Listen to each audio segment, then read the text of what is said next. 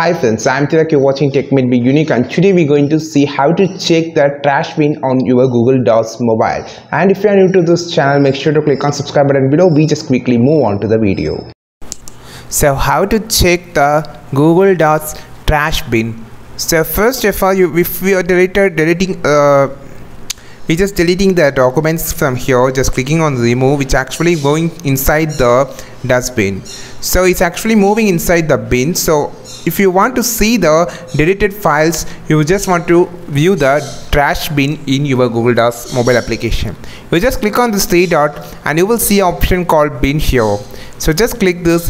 Here you will see uh, what are the files you deleted will be appears here.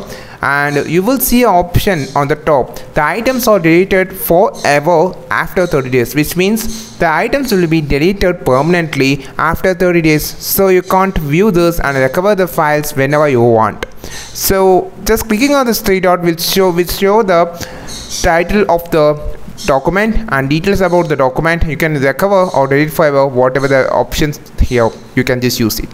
You just want, to click on this three dot and you will see a bin option which actually you can see the what are the files in the trash bin on your google docs mobile application.